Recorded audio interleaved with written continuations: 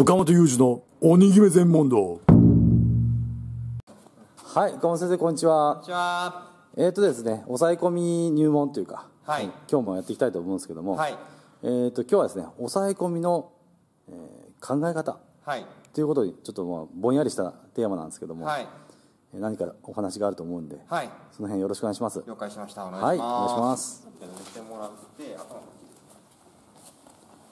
これは柔術家だけじゃなくて、はい。柔道家とかでも通じることだと思うんですけれども、はやたらめったらはい。相手のところ、相手を抑え込んでればいいってわけじゃないんですよね。いはい。具体的に言うとこういう人とかいますね。とりあえず首取ってええ。脇刺して固めて、ええ。ペトってこう乗ってる人。がっちり固めてるってことこれ固めてるようで固めてないんですよね。あの一体感一体相手にペトってこう張り付いてるだけなんですよ。あそうなんですか？ペトって乗ってるだけ。あそうなんですか？苦しくない全然。あ苦しめなきゃダメなんですね。苦しみうん。相手にはプレッシャーかける。は全然プレッシャーかかってないんですよ今のって。いなるほど。簡単に言うと両膝が相手に寄ってる正座してる感じですよね。は足つま先立ちしてるから、はい。まず腰が高くなるわけですよ。いなるほど。で今だ体重がかかってるの膝ですね両膝。はい。で脇刺して肘。両肘で床を支えてるから、はい。相手は全然か軽いと思います。なるほこれはそんなに意味がなくて、はい。例えばスクロールベースっていうんですかね。どはちょっと胸開くような。い。は平泳ぎみたいな、はい。体勢になるとここに腰が落ちて体重かかるわけです。ははい。い密着度が上がるそうですね。で抑え込みの時考えるのってはまあ、どう相手にプレッシャーを与えるかっていうことが一つね。い。はどっかよく言われたのがどっか一つはい。殺しなさいって言われましたね、うん。例えば首を殺すとか。いはいはい。柔術最近流行り腰を殺すとか。あそうですね。はい。え腰を制するとかね。あとはね首まあ上半身肩を固めろとかえはい。言われたんでそこをまず一つ心がけるってこととあとはえっ、と相手のやっぱ動きを予測した方がいいんですよ。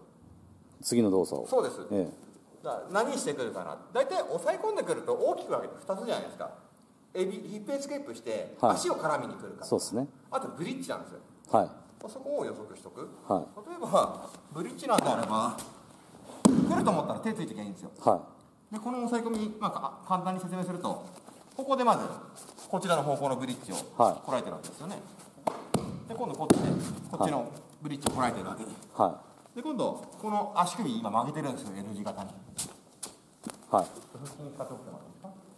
これでこらえてるわけですね。なるほど。3点で実は3方向の展開できるようにもしたいし次のポジションにはニーオンザベリーしたりといか。はい。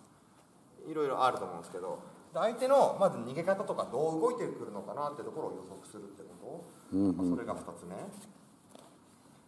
あとはやっぱりその相手が逃げるのを予測するってこともあるし自分がどうやって動いていこうかなっていうことも考えた方がいいですよね。は3通りあるとしたらじゃんけんでいうグーとチョキとパーがあるとしたら、はい。相手は何を出してくるかな。いえ。え相手がチョキっていう、まあ、ヒップエスケープするとしたら、はグーっていう、まあ、なんかの攻めをやっていけばこっちは勝てるわけですよ、はいはい。ポジションを取る奪うことに成功するわけですよ。はそういったことを考えていくといいのかなと思いますね。いなるほど。例えば、簡単な話をするとヒップエスケープをやってくる、はい。お腹の前にスペースがあるから膝が入ってくるわけですよ。そうですね。はい。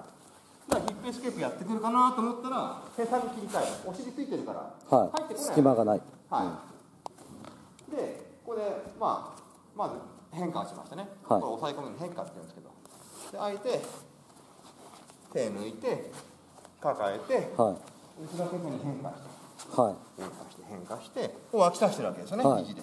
なるほど。マウント。4ポイント取ることに成功しましたね。なるほど。とか一例ですけど何どういう形で攻めていこうかな。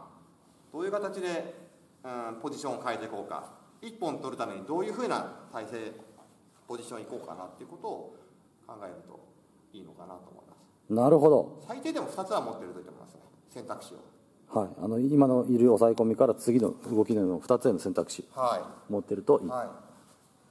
分かりました。抑え込みの考え方。っはい。てことで。はい。どうもありがとうございました。ありがとうございました